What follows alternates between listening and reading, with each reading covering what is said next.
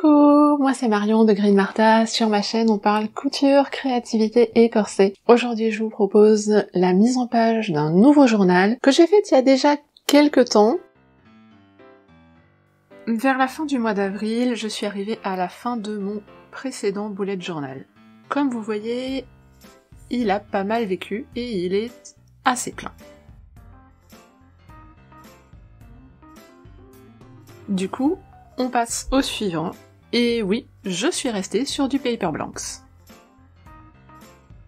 Du coup d'ailleurs je veux bien votre avis. Est-ce que vous préférez que je vous montre les choses de façon chronologique au fur et à mesure de ce que je les ai faites ou est-ce que vous êtes plutôt intéressé pour avoir quelque chose qui colle à la saison ou au moment où je publie la vidéo? Je commence à avoir suffisamment de retard pour que ça devienne une question à se poser. J'étais pas super contente de ce que j'avais fait sur mon précédent bullet journal. Je trouve que c'est important pour moi dans ma tête d'avoir quelque chose qui soit visuellement plaisant. Ça me donne beaucoup plus envie d'y retourner. Du coup, pour être sûr de pas me louper, je suis partie sur des collages. J'ai maintenant deux agendas qu'on m'a offert de la BNF, donc il faut que je les ai. Et puis ça fait une très bonne source de dessin. J'ai sélectionné un certain nombre d'images qui étaient à peu près assorties. J'avais pas vraiment de plan à l'origine. Le thème de couleur s'est dessiné un peu de lui-même avec des teintes ocre, beige, un petit peu rosé et beaucoup d'images des années 1910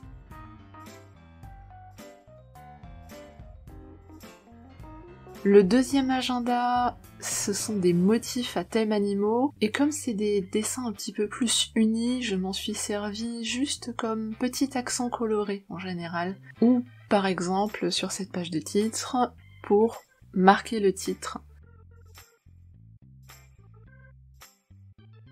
J'ai écrit avec mon gros Posca blanc. J'ai dû repasser un petit peu quand même pour qu'il soit bien opaque et j'ai même fini par faire une bordure en noir au fine liner pour que ça se voit vraiment bien parce que sinon c'était pas encore très net. Je trouvais qu'il manquait un petit peu quelque chose donc j'ai fait des petits doodles de feuilles et d'insectes pour changer.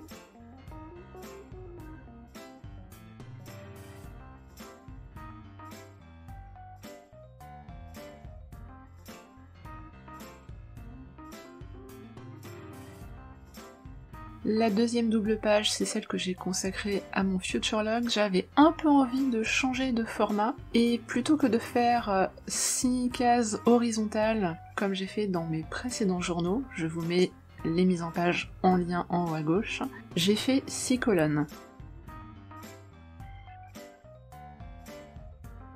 J'ai utilisé des motifs que j'ai découpés dans le plus petit des agendas pour faire 6 illustrations. Les couleurs sont pas exactement les mêmes, mais l'ensemble fonctionne bien.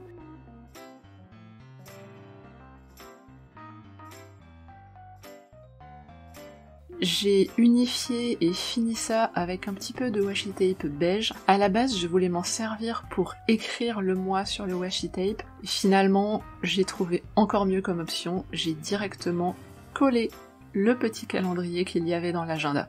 Comme ça, j'ai pas non plus besoin de le recopier, le calendrier.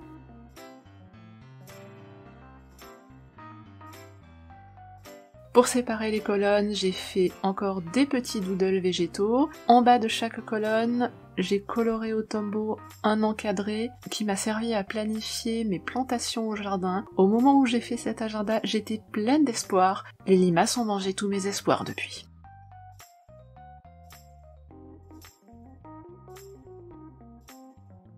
La double page d'après, c'est celle que je consacre à mes lectures et à ce que j'appelle la page des choses à regarder. C'est les livres, les expos, toutes les choses sur lesquelles je veux me pencher plus tard, mais pas tout de suite.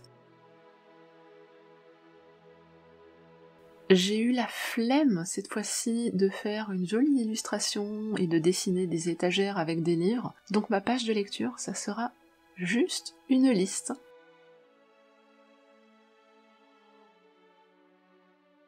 J'ai mis quelques petits insectes et j'ai passé du tombeau une ligne sur deux juste pour habiller un petit peu la page. Et finalement, ça m'allait très bien et j'ai bien apprécié de l'utiliser tel quel.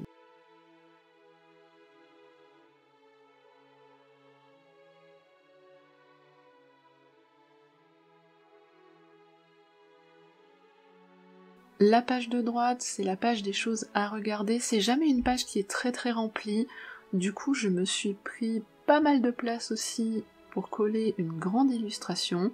Ah oui, j'ai rajouté un petit peu de washi tape histoire d'unifier le tout.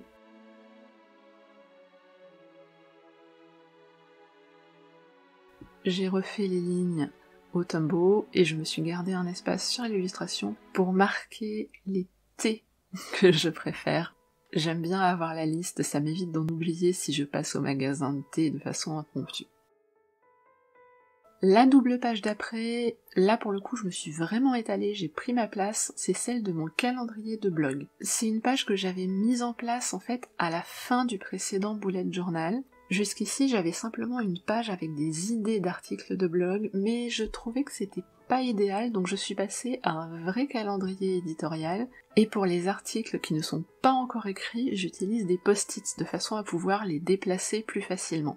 Vous allez voir, c'est beaucoup plus simple à utiliser que ce que j'essaye de vous décrire là.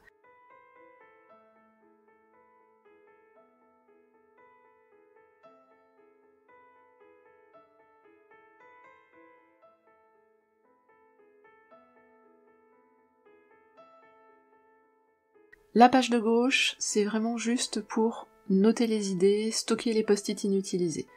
J'ai pas besoin d'énormément de place, j'écris mes titres relativement petits, et il y a de la place pour écrire sur les grands manteaux des nanas. Sur la page de droite, j'ai fait 6 lignes, c'est une ligne par mois. J'ai remis des petits motifs comme sur le future log et j'ai partagé les lignes avec des petits doodles de feuilles. En général, je publie le jeudi, donc je note les dates de tous les jours où j'aimerais publier dans l'idéal. Ça peut arriver qu'il y ait des jeudis où je me fasse des vacances, mais comme ça je sais tous les jours potentiels. Et ensuite j'ai transféré les post-it qui me restaient du journal précédent. La double page d'après, je l'ai consacrée aux idées de vidéos. Alors là, pour le coup, je me suis carrément pris une page entière juste pour profiter d'une jolie illustration. J'ai rajouté un petit peu de washi tape, des morceaux de motifs animaux, un petit peu de gravure de mode. J'ai vraiment fait, je crois qu'on peut dire que j'ai fait un peu de scrapbooking là.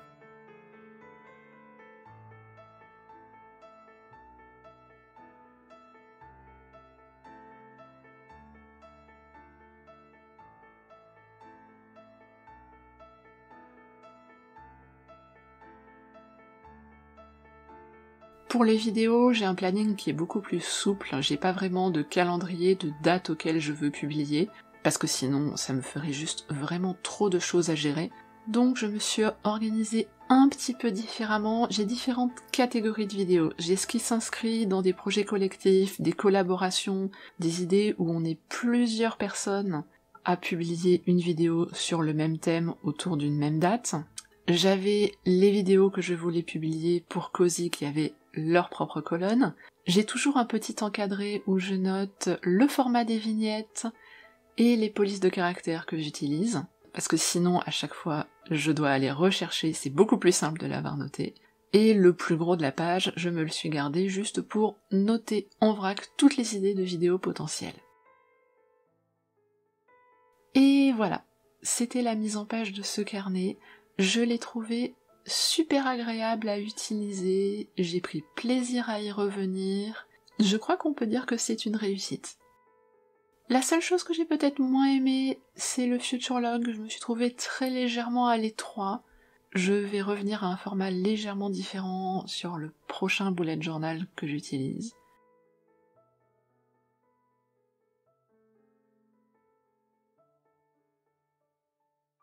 Merci d'avoir suivi jusqu'ici. N'hésitez pas à mettre un pouce bleu, à vous abonner si vous ne faites pas encore partie de mes fidèles abonnés. J'ai listé en dessous le matériel utilisé, tous les endroits où vous pouvez me retrouver sur internet. Et je vous dis à bientôt dans une prochaine vidéo. Ciao ciao